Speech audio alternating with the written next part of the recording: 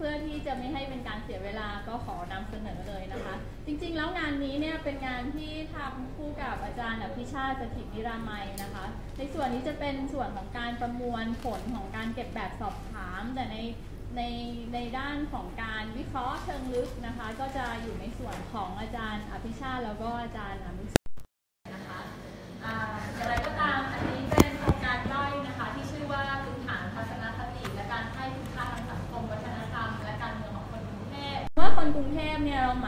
คนที่อยู่โดยประจำในกรุงเทพมหานครอาจจะไม่จำเป็นว่าจะต้องมีทะเบียนบ้านอยู่ แต่ว่าทำงานแล้วก็อยู่ประจำในกรุงเทพมหานครเป็นหลัก ในวัตถุประสงค์เนี่ยก็จะมี 2 ข้อหลักๆนะคะ อันที่ 1 ก็คือเพื่อวัดทัศนคติพื้นฐานของคนกรุงเทพนะคะ ว่าเขามีการให้คุณค่าทางด้านสังคม วัฒนธรรมและการเมืองอย่างไรนะคะ ในข้อ 2 ก็คือเราต้องการวัดความสัมพันธ์ ระหว่างปัจจัยทางด้านเศรษฐกิจสังคมของเขานะคะ กับการให้คุณค่าทางสังคม วัฒนธรรมและการเมืองนะคะ ตัวอย่างเช่นคนคนกรุงเทพที่มีเศรษฐกิจ ลักษณะเศรษฐกิจสังคมที่ต่างกันชนชั้นที่ต่างกันเนี่ยเขามีเขามีความการให้คุณค่าทางด้านการเมืองที่ต่างกันไหมนะคะเขาเห็นเห็นการปฏิบัติทางด้านสังคมและวัฒนธรรมที่ต่างกันเขาให้คุณค่าที่ต่างกันไหมเป็นต้นนะคะ เดี๋ยวเราจะลองไปดูต่อไปนะคะ ว่าเราใช้คำถามอะไรในการวัดวัดตัวแปรพวกนี้นะคะคำถามหลักของการวิจัยนะคะในข้อหนึ่งก็คือว่า ผู้ชุมนุมและผู้สนับสนุนกลุ่มขั้วทางการเมืองที่ต่างกันเขาให้คุณค่าทางสังคม และวัฒนธรรมต่างกันหรือไม่อย่างไรนะคะ น่าจะต่างกันนะคะ แต่ว่าเราอยากจะทราบว่ามันอย่างไรนะคะ ข้อ 2 ก็คือปัจจัยอะไรเป็นปัจจัยสำคัญที่มีความสัมพันธ์กับการโอนอ่อนต่ออำนาจเผด็จการ อันนี้คือจริงๆแล้วถ้าเราถาม คนทั่วไปว่าต้องการให้ประเทศไทยปกครองโดยเผด็จการไหมก็คงไม่มีใครตอบว่าใช่นะคะแต่ว่ามันก็จะต้องมีดีกรีที่เรายอมโอนอ่อนสักอยู่สักดีกรีหนึ่งซึ่งแต่ละคนเนี่ยก็จะมีดีกรีที่มีความโอนอ่อนต่ออำนาเผด็จการเนี่ยไม่เท่ากันนะคะ บางคนก็คือไม่เลยหรือบางคนก็เออโอเค ภายใต้สถานการณ์บางอย่างเราจะยอมให้มีเป็นต้นนะคะทีนี้เนี่ยเราอยากจะเข้าใจว่าเราปัจจัยอะไรนะคะ ที่มันมีความสัมพันธ์ต่อการโอนอ่อนต่ออำนาเผด็จการนี้นะ เจาะจงในข้อที่2เนี่ยการวิเคราะห์จะเป็นการวิเคราะห์เชิงปริมาณนะคะ ซึ่งซึ่งใช้วิธีการที่เรียกว่า structural equation modeling นะคะมาอ่าวิเคราะห์ความสัมพันธ์ของตัวแปรต่างๆ กับความอ่อนอ่อนต่ออำนาจเผด็จการนะคะ ซึ่งตัวแปรต่างๆเนี่ยเรากรุ๊ปให้เป็น 2 กรุ๊ปใหญ่ๆนะคะกรุ๊ปแรกก็คือลักษณะทางเศรษฐกิจสังคมและคุณค่าในประเด็นเกี่ยวกับสังคมของเขานะคะ ข้อ 2 ก็คือว่าเราเชื่อนะคะว่าไอลักษณะทางเศรษฐกิจสังคม และการให้คุณค่าเกี่ยวกับประเด็นทางสังคมเนี่ยมันมีความสัมพันธ์ต่ออประสบต่อการต่อการแปลความของประสบการณ์ในชีวิตของเขาแล้วก็ต่อการที่เขาเห็นว่าสิ่งใดเป็นสิ่งที่เป็นภัยคุกคามแก่ชีวิตเขานะคะ ทีนี้ 2 ตัวแปรเนี่ยเราก็เชื่อว่ามีผลนะคะต่อความดีกรี ความอ่อนอ่อนต่ออำนาเผด็จการของแต่ละบุคคลนะ เราเก็บแบบสอบถามทั้งหมดนะคะในปี 2558 นะคะ ระหว่างวันที่ 1 ถึง 20 กันยายนนะคะ ในช่วงนั้นก็เก็บยากพอสมควรนะคะ กว่าจะได้มา 2,000 ชุดเนี่ย ก็อาจจะมีนักน้องที่เขาไปเก็บแบบสอบถามโดนไล่ออกมาบ้าง หรือว่าโดนด่าบ้าง หรือว่าโดน report บ้างนะคะ เราจำเป็นจะต้องลบไอ้ตรงหัวหัวแบบสอบถามว่ามาจากธรรมศาสตร์ว่าเหมือนมาจากที่อื่นที่แบบ ฟังดูไม่น่ากลัวเท่ามาจากมาจากที่นี่นะคะ สมัยก่อนตอนนั้นคือแบบคนกลัวมากคำว่าธรรมศาสตร์นะคะ เป็นต้น ก็มันใช้ได้ 1,800 ชุดนะคะ ไม่ใช่ว่าโดนฉีกหรืออะไรนะคะ คืออาสุดท้ายแล้วคนที่ยอมตอบแบบสอบถามเราเนี่ย เราสุ่มไปเจอคนที่อายุน้อยเป็นสัดส่วนที่เยอะกว่าที่เราอยากได้นะคะ คนคนที่อายุน้อยเขาจะไม่ค่อยรู้สึกแบบอ่ารู้สึก เซนซิทีฟเท่าคนที่อายุเยอะนะคะในช่วงนั้น เราก็เลยต้องสุ่มเขาออกไป 200 คน เพื่อที่จะให้สัดส่วนของประชากรสัดส่วนอายุของประชากรในกลุ่มกลุ่มแบบสอบถามของเราเนี่ยสะท้อนสัดส่วนอายุของประชากรจริงในกรุงเทพมหานครนะคะ เราไปครอบคลุม 38เขตจากจำนวนทั้งหมด 58 50เขตนะคะ ซึ่งการสุ่มเขต 38 เขตเนี่ยก็พยายามทำให้ให้มันสะท้อนถึงสัดส่วนกลุ่มขั้วทางการเมืองเช่นกันนะคะเราพยายามไปสุ่มเขตที่ออกจะแดงๆหน่อย แล้วก็เขตที่ออกจะไม่แดงหน่อยนะคะ ก็ใช้ใช้อะไรในการวัดนะคะ เราใช้เกณฑ์ ผลการเลือกตั้งผู้ว่าราชการจังหวัดนะคะในวันที่ 3 มีนาคม 2556 นะคะ เป็นเป็นเป็นเกณฑ์นะคะ ก็คือเราก็สุ่มให้มีสัดส่วนของเขตที่มีสีฟ้านี้นะคะ ก็คือเขตที่หม่อมราชวงศ์สุขุมพันธ์บริพัชนะนะคะมีสัดส่วนเท่ากันกับสัดส่วนของตัวตัวกลุ่มตัวอย่างที่เราเก็บของเรานะคะ แล้วก็สัดส่วนของกลุ่มแดงนะคะ ก็คือกลุ่มที่ พลตำรวจเอกพงศพัฒน์พงเจริญชนะนะคะก็สะท้อนของ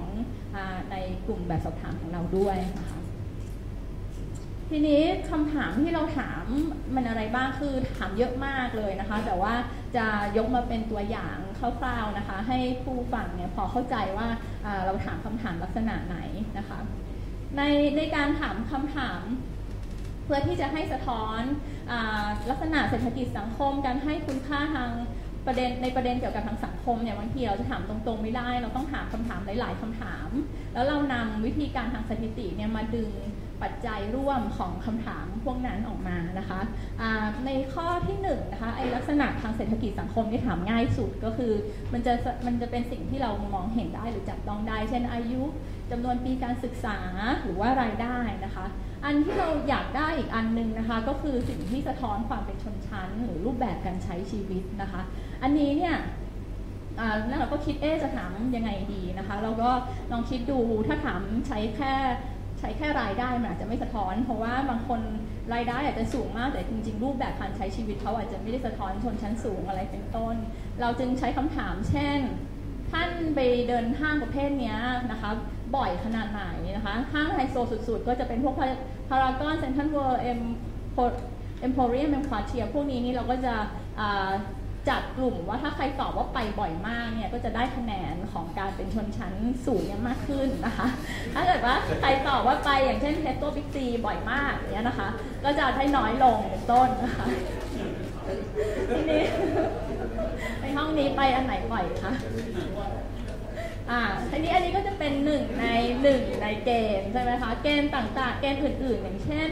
ท่านไปนั่งในร้านกาแฟที่ตกแต่งอย่างหรูหรา อย่างเช่นสตาร์บัคบ่อยไหมนะคะ บ่อยขนาดไหน หรือว่าท่านได้บินไปเที่ยวต่างประเทศยุโรปอะไรอย่างเงี้ยนะคะ บ่อยขนาดไหนนะคะ หรือท่านมีบัตรเครดิตไหมนะคะในอีกอันนึงก็จะถามว่าท่านมีบัตรอีออนไหมนะคะ คือถ้าใครได้บัตรได้คะแนนของบัตรเครดิตนะคะ ก็จะได้เยอะ ถ้าอีออนก็จะได้คะแนนลบนะคะ ก็จะเป็นต้นอย่างเงี้ย ท่านอ่านหนังสือภาษาอังกฤษจบเล่มไหมนะคะเป็นต้นนะคะทีนี้เราก็จะเอาข้อมูลของการตอบคำถามพวกนี้มาประมวลกัน แล้วก็ให้คะแนนเป็นสกอร์ความเป็นชนชั้นสูงของแต่ละคนไปนะคะคำถามนี้ก็เป็นตัวอย่างนะคะ ต่อไปก็คำถามทางด้านทัศนคตินะคะ ก็จะมีคำถามชุดของความเป็นอำนาจนิยม ชุดของความเท่าเทียม แล้วก็ชุดของชาตินิยมนะคะ นี่เป็นตัวอย่างคร่าวๆนะคะ เราวัดความเป็นอำนาจนิยมยังไงนะคะ ก็ ก็ยากเหมือนกันนะคะ ไปถามว่าคุณเป็นอำนาจนิยมไหมเขาอาจจะมันคืออะไรฉันไม่รู้ใช่ไหมคะเราก็เลยต้องช่วยเขาหน่อยนะคะอะระหว่างหน้าที่กับสิทธิท่านเห็นว่าอันไหนสำคัญกว่ากันนะคะ ระหว่างระเบียบวินัยกับเสรีภาพอันไหนท่านเห็นว่าสำคัญกว่ากันเป็นต้นก็ให้เขาตอบมา แล้วก็มาประมวลแล้วก็ให้สกอร์ความเป็นอำนาจนิยมของเขาเป็นต้นนะคะ ก็การความเท่าเทียมอันนี้ก็มีชุดคำถามของเขานะคะ ก็มันมันจะยาวก็เลยเดี๋ยวขอข้ามไปนะคะ ในด้านการเมืองเชิงศิลธรรมหรือ moral politics นะคะเราก็ใช้คำถามเช่นระหว่างผู้นำมีบารมีกับผู้นำที่มีความสามารถในการบริหารจัดการให้เลือกนะคะท่านเลือกท่านเลือกอันไหนก่อนนะคะ อันที่สองคือชุมชนที่มีผู้นำเป็นคนดี กับชุมชนที่มีระบบบริหารจัดการที่ดีท่านเลือกอันไหนก่อนนะคะต้น แล้วก็มีคำถามอีก ท่านเห็นด้วยกับข้อความเหล่านี้อย่างไรนะคะ เช่น ถ้าคนไทยรู้จักที่ต่ำที่สูงสังคมไทยจะสงบเรียบร้อยกว่านี้อะไรเงี้ยนะคะ ก็คือเราก็ให้เขาตอบว่าเราเอาใช้วิธีทางทางสถิติมาประมวลเพื่อหาสกอร์ความความเป็นการเมืองศิลธรรม หรือว่าความมี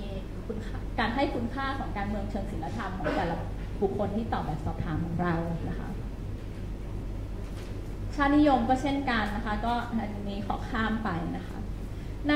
ข้อ3นะคะความรู้ความเข้าใจเกี่ยวกับประชาธิปไตยและการเมือง อันนี้ก็เราจะนำเหมือนทำให้เขาทำควิสนะคะง่ายๆนะคะสำหรับอาจจะสำหรับในห้องนี้ง่ายคงคงตอบได้เต็มนะคะแต่อยากจะให้ทายว่า โดยผู้โดยเฉลี่ยแล้วคนในกรุงเทพตอบถูกกี่ข้อคะข้อที่ 1 ตามรัฐธรรมนูญแห่งราชอาณาจักรไทย ปี พศ 2540 ผู้ดำรงตำแหน่งสมาชิกวุฒิสภาสว หรือสวนะคะมีที่มาอย่างไร แต่งตั้งทั้งหมด เลือกตั้งทั้งหมด แต่งตั้งผสมเลือกตั้งหรือไม่ทราบ ข้อ2ก็คือเอาแล้วของรัฐธรรมนูญปี 50ล่ะนะคะ แล้วข้อ 3 ก็คือใครเป็นผู้นำรัฐประหารปี 2549 นะคะ คงตอบได้หมดนะคะ โดยเฉลี่ยแล้วคนกรุงเทพที่ตอบแบบสอบถามเรา 2,000 คนเฉลี่ยแล้วตอบถูกหนึ่งข้อ ไม่รู้ข้อไหน ตอบถูกหนึ่งข้อเองนะคะ อ่า นั่นแหละค่ะอ่าในในส่วนของประสบการณ์และสิ่งที่เห็นว่าเป็นภัยคุกคามนะคะ ของเราเนี่ยก็จะเป็นปัจจัยแยกมาเป็น 2 ปัจจัยนะคะ ปัจจัยแรกก็คือความรู้สึกที่ว่า old order หรือ moral order ถูกทำลายหรือ ระเบียบวิธีปฏิบัติที่เป็นมาตั้งแต่สมัยก่อนเนี่ยมันถูกทำลายหรือมันถูกท้าทายนะคะ ข้อ 2 ก็คือ social mobility ถูกทำให้แย่ลงนะคะ ในในส่วนของ uh, o order หรือว่า moral order ถูกทำลายเนี่ยเราก็จะมีชุดคำถามหลายคำถามนะคะ แล้วก็ให้ให้พูดตอบแบบสอบถามตอบ หลังจากนั้นเราใช้วิธีการทางสถิติเนี่ยมาคิดค่าสกอร์ของของความเห็นด้วยว่า o order moral order ถูกทำลายของผู้ตอบแบบสอบถามนะคะคำคำถามตัวอย่างเช่น ก็จะเป็นประมาณสมัยนี้เป็นยังไงนะคะ เช่น คนสมัยนี้ใช้จ่ายเกินตัว หรือว่าประชานิยมทำให้คนสมัยนี้เนี่ยใช้ ลุ่มหลงในวัตถุนิยมบริโภคนิยมเป็นต้นอะไรเนี่ยนะคะแล้วก็ให้ผู้ตอบแบบสอบถามเห็นตอบว่าเขาเห็นด้วยหรือไม่เห็นด้วยมากน้อยเพียงไหนอันนี้ก็เดี๋ยวเราจะมาพูดถึงผลของการตอบแบบสอบถามอีกทีนะคะทีนี้ในอีกอในอีกส่วนหนึ่งก็คือความฝักใฝ่ทางการเมืองนะคะ เราก็อยากวัดเหมือนกันว่า เอในกลุ่มคนตอบแบบสอบถามของเราเนี่ยมีกี่เปอร์เซ็นต์ที่เป็น PDRC กี่เปอร์เซ็นต์ที่สนับสนุนกลุ่มเสื้อแดง กี่เปอร์เซ็นต์ที่สนับสนุนพันธมิตรและอื่นๆนะคะ เราก็เลยถามเขานะคะ ถามเหมือนว่าเราจะเก็บเซอร์เวยทั่วไปไม่ได้จะวัดว่าเธอเป็นเหลืองหรือแดง ดังนั้นมันต้องใช้มีคำถามลวงนิดนึง เช่น ท่านเคยมีส่วนร่วมหรือท่านเคยมีส่วนร่วมในเหตุการณ์ประวัติศาสตร์เหล่านี้หรือไม่นะคะ เช่น 14 ตุลา 6 ตุลาอะไรอย่างเงี้ยนะคะ ซึ่ง 2 ข้อนี้เนี่ยเราไม่ได้เอามาใช้ในการวัดแต่เราเขียนไปก่อน เพื่อที่ให้เขารู้สึกว่าอ๋อโอเค เราไม่ได้จะมาถามว่าเธอเป็นเสื้อแดงไหมหรือเสื้อเหลืองไหมอะไรอย่างเงี้ยในต่อมาก็จะเริ่มแล้วนะคะ ชุมนุมพันธมิตรล่ะเคยมีส่วนร่วมไหมนะคะ หรือว่าเอาใจช่วยหรือว่าชุมนุมเสื้อแดงล่ะมีส่วนร่วมไหมหรือเอาใจช่วยต่าง หลังจากเราได้คำตอบมาแล้วเราก็มาประมวลนะคะ ดูว่าสัดส่วนของผู้ตอบแบบสอบถามเนี่ยเขามีส่วนร่วมและเอาใจช่วยของแต่ละเหตุการณ์เท่าไหร่นะคะพอมาประมวลกันนะคะก็จะเห็นว่านะคะเราสามารถแบ่งผู้ตอบแบบสอบถามออกมาได้เป็นกลุ่มย่อยๆ อยู่จำนวน 6 กลุ่มนะคะ กลุ่มแรกก็คือกลุ่มพันธมิตรเท่านั้นก็คือเขาตอบว่าเขาไม่ได้มีส่วนร่วม แล้วก็ไม่เคยเอาใจช่วยการเคลื่อนไหวทางการเมืองใด ๆ เลย ยกเว้นของพันธมิตรนะคะ อันที่ 2 ก็คือเสื้อแดงเท่านั้นเอาใจช่วยหรือมีส่วนร่วมของการชุมนุมของเสื้อแดงเท่านั้นอะไรเงี้ยนะคะก็คือสำหรับพันธมิตรเนี่ยมีค่า 3.17%นะคะเสื้อแดง 4.44%ส่วนที่เคยเข้าร่วมของพันธมิตรแล้วก็มากปปสด้วยนะคะ อันนี้จะมี 7%นะคะ กลุ่มที่เยอะที่สุดก็คือไม่เคยเข้าร่วมแล้วเอาใจช่วยอะไรเลยเพิ่งจะมาเข้าร่วมแล้วเอาใจช่วยกปปสเท่านั้นเนี่ยนะคะมีถึง 10.61%นะคะกลุ่มสุดท้ายคือเข้าร่วมและชุมนุมแบบเอาช่วยเอาใจช่วยแบบค้ากลุ่มนะคะ คือเสื้อแดงก็เอาใจช่วยเสื้อเหลืองก็เอาใจช่วยเอาใจช่วยไปหมดเลยนะคะก็มี 9.33%อันนี้เราไม่แน่ใจว่าเขา ตอบเพราะว่าเขาเป็นอย่างนั้นจริง ๆ หรือเขากลัวว่าเขาจะถูกมาจับผิดนะคะ ก็อันนี้ไม่สามารถที่จะที่จะตีความได้นะคะ แต่เราก็ต้องเก็บมาเพราะว่ามันเป็นมันเป็นผลของการเก็บแบบสอบถามของเรานะคะ ในอันสุดท้ายก็คือคนที่ตอบว่าไม่เคยเข้าร่วมชุมนุมหรือเอาใจช่วยกลุ่มใดเลยนะคะ กลุ่มนี้ก็จะ 65.44%นะคะ ส่วนใหญ่ก็จะเป็นคนที่อายุน้อยนะคะ น้อยมากๆเหมือนยังไม่ได้เข้ามหาวิทยาลัยอะไรนะคะ เราเก็บแบบสอบถามเนี่ยเราเลือกคนที่อายุ 18 ปีจนถึงจนถึงไม่ถึง 70 ปีนะคะ เพราะว่าน้อยเกินไปเขายังไม่คิดถึงเรื่องการเมืองเท่าไหร่ เกิน 70 ปีบางทีเขาฟังไม่รู้เขาเขาแบบหูไม่ดีหรือว่าจะอยู่บ้านหรือไม่แอคทีฟทางการเมืองแล้วนะคะเราก็ไป cross check ด้วยนะคะอะของแต่ละกลุ่มว่าที่ผ่านมาเนี่ยมีคำถามด้วยว่าท่านเคยลงคะแนนเลือกพักใดบ้างนะคะ ซึ่งมันก็ค่อนข้างสะท้อนนะคะ เช่น กลุ่มที่เป็น PR PAD หรือพันธมิตรเนี่ยส่วนใหญ่ก็จะเคยเลือกประชาธิปัตย์เป็นเยอะนะคะ แล้วก็มีเลือกเพื่อไทยบ้างนะคะ กลุ่มที่เป็นเรดก็คือเลือกเพื่อไทยกัน 90%เลยนะคะ เลือกเลือกอย่างอื่นก็พรรคอื่นก็จะน้อยลงตามลำดับนะคะ PAD PDRC ก็คือประชาธิปัตย์ส่วนใหญ่เป็นต้นนะคะเกือบทั้งหมดนะคะ อันนี้ก็ cross check มาก็รู้สึกว่าเออโอเคเขาก็คงส่วนใหญ่ก็คงตอบตอบจริง ๆนะคะ ก็อาจจะมีมั่วนิดหน่อยไม่เยอะมากนะคะ ในส่วนของผลการวิเคราะห์จริง ๆ แล้วมันละเอียดแล้วอาจจะน่าเบื่อนะคะ ก็จึงขออพูดถึงผลการวิเคราะห์แบบแบบรวดเร็วนะคะ ผลการวิเคราะห์นะคะ ก็ด้านลักษณะทางเศรษฐกิจสังคมเนี่ยพบว่า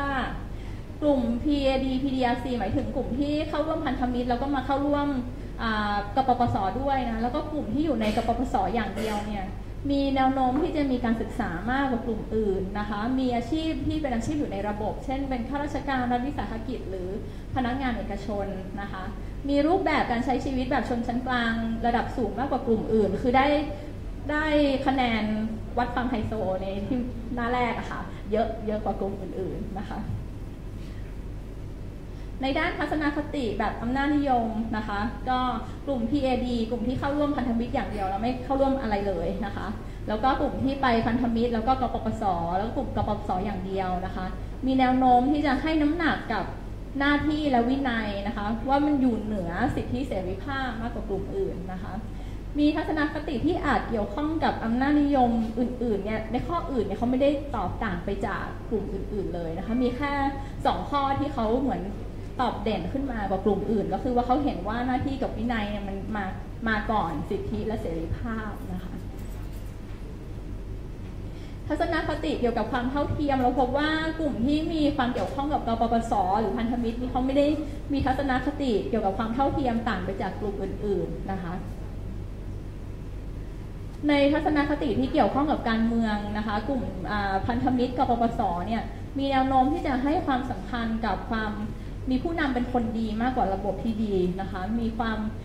ให้ความสำคัญกับการมีบารมีมากกว่าความสามารถของผู้นำนะคะ มากกว่ากลุ่มอื่นนะคะ ในด้านความรู้ความเข้าใจเกี่ยวกับประชาธิปไตยและการเมืองนะคะ อันนี้จำนวนข้อที่ตอบถูกคะแนนเฉลี่ยอยู่ข้างล่างสุดนะคะ ของทุกกลุ่มคะแนนเฉลี่ยตอบถูกหนึ่งข้อนะคะ ของกลุ่มที่มีความแอคทีฟทางการเมืองคือ Red Red PDRC PAD แล้วก็ PDRC เนี่ยเขาจะได้คะแนนมากกว่ากลุ่มอื่นนะคะ ก็คือไม่ได้ว่ามีกลุ่มไหนที่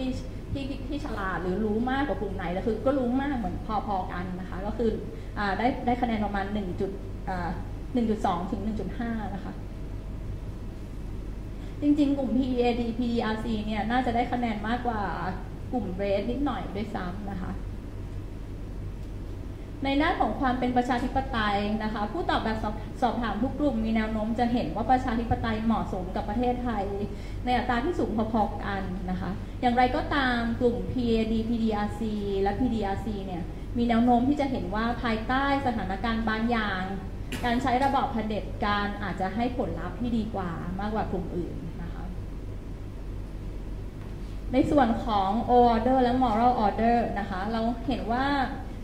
กลุ่ม PAD PDRC หรือ PDRC มีแนวโน้มที่จะเห็นว่า O order และ moral order ถูกทำลายมากกว่ากลุ่มอื่น คือเขาจะเห็นด้วยกับข้อความเช่น ประชานิยมนำให้คนจนลุ่มหลงในวัตถุนิยมบริโภคนิยมมากกว่ากลุ่มอื่นนะคะ หรือว่าเห็นด้วยกับข้อความที่ว่าสมัยนี้ความสำนึกบุญคุณของคนน้อยกว่าสมัยก่อนมากมากกว่ากลุ่มอื่น คือเขาคิดว่า ในตอนนี้มันระเบียบระเบียบแบบแผนแบบเดิมของเราเนี่ยมันถูกมันถูกท้าทายและทำลายลง ทีนี้ในส่วนส่วนสุดท้ายก็คือความคิดเห็นเกี่ยวกับ social and economic mobility นะคะกลุ่ม PDRC มีแนวโน้มที่จะเห็นว่า social หรือ economic mobility ของตนนั้นดีมากกว่ากลุ่มอื่นนะคะ แล้วก็กลุ่ม mix คือกลุ่มที่ เอาใจช่วยหรือว่าไปเข้าร่วมกับกับเหตุการณ์กับการเคลื่อนไหวทางการเมืองมากกว่าหนึ่งกลุ่มเนี่ยมีแนวโน้มที่จะเห็นว่า social หรือ economic mobility ของตนนั้นแย่กว่าค่าเฉลี่ยทีนี้ในด้านของการวิเคราะห์เชิงปริมาณถ้ายังจำได้ เราพยายามที่จะหาปัจจัยที่มีความสัมพันธ์กับความโอนอ่อนต่ออำนาจเผด็จการนะคะ ความโอนอ่อนต่ออำนาจเผด็จการของเราวัดอย่างไรนะคะ เราวัดผ่านคำถามนี้นะคะคำถามที่ว่าภายใต้สถานการณ์บางอย่าง การใช้ระบอบเผด็จการจะให้ผลลัพธ์ที่ดีกว่านะคะ จะเห็นว่าไม่ใช่ว่ามีแค่กลุ่ม PDRC หรือว่ากลุ่ม PAD หรือพันธมิตรเท่านั้นนะคะที่เห็นด้วยกับคำถามนี้เป็นนะคะ คือจริงๆแล้วทุกกลุ่มเนี่ยก็มีคนที่เห็นด้วยกับคำถามนี้นะคะแม้แต่กลุ่ม เพื่อแดงเองเนี่ยก็ยังเห็นด้วยกับคำถามนี้ตั้ง 21.3%นะคะ ทีนี้เราอยากจะเข้าใจว่าอะไรปัจจัยอะไรที่มันอธิบายความเห็นด้วยกับกับกับการใช้ระบอบเผด็จการนะคะ ภายใต้สถานการณ์บางอย่าง แล้วก็ใช้แบบจำลองอเดี๋ยวนะคะ อันนี้มันมัน ขยายได้ประมาณแค่นี้ มันก็จะเป็นแบบจำลองอ structural equation model นะคะ ซึ่งเราใส่ตัวแปร เราใส่คำตอบของแบบสอบถามของเรานะคะ ของแต่ละกลุ่มเข้าไปนะคะ ทีนี้เนี่ยในโปรแกรมนี้เขาจะช่วยเราดึงดึงปัจจัยร่วมนะคะของแต่ละกลุ่มแบบสอบถาม เช่น ปัจจัยอำนาจนิยม จากกลุ่มแบบสอบถามที่เราพยายามวัดความเป็นอำนาจนิยม ปัจจัย ที่คิดว่าโอเดอร์ถูกทำลาย จากกลุ่มแบบสอบกลุ่มคำถามที่เราใช้วัดความที่เขาคิดว่าโอเดอร์ถูกทำลายเป็นต้นนะคะ ทีนี้เรานำปัจจัยพวกนี้เนี่ยไปอธิบายความโอนอ่อนต่ออำนาจเผด็จการนะคะซึ่งในทางสถิติแล้วเนี่ยเราไม่ได้พบว่าทุกๆปัจจัยสามมีสามารถอธิบายความอ่อนอ่อนต่ออำนาจเผด็จการได้อย่างมีนัยสำคัญนะคะ แต่ว่ามีปัจจัยอยู่ 4 ปัจจัยนี้นะคะที่มีนัยสำคัญนะคะ ปัจจัยแรกก็คือรูปแบบการดำรงชีวิตนะคะ ยิ่งได้สกอร์ของไอตัวแปรที่วัดความเป็นชนชั้นสูงมากขึ้นนะคะ ยิ่งจะมีความโอนอ่อนต่ออำนาจเผด็จการมากขึ้นนะคะ ข้อ 2 ก็คือยิ่งรู้สึกว่าโอออเดอร์ถูกทำลายมากขึ้นนะคะ ก็ยิ่งจะมีความอ่อนอ่อนต่ออำนาจเผด็จการมากขึ้น ข้อ 3 คือยิ่งมีความเป็นอำนาจนิยมมากขึ้นก็จะมีความอ่อนอ่อนต่ออำนาจเผด็จการมากขึ้น ข้อที่ 4 ถ้ายิ่งรู้สึกว่า mobility ของตัวเองและลูกหลานดีนะคะ ยิ่งรู้สึกดีก็จะมีความอ่อนอ่อนต่ออำนาจเผด็จการน้อยลงนะคะสำหรับตัวแปรอื่นในทิศทางก็มีความสัมพันธ์ที่พอเข้าใจได้ แต่เนื่องจากมันไม่มีนัยสำคัญ เราจึงไม่สามารถนำมาสรุปเป็นข้อสรุปในงานนี้ได้นะ ในส่วนนี้ต้องอขอจบการอภิปรายเพียงเท่านี้นะคะ ในส่วนต่อไปเดี๋ยวอาจารย์อภิชาติกับอาจารย์อนุสรจะอธิบายการแปลผลเชิงลึกต่อไปค่ะ ขอบคุณมากค่ะ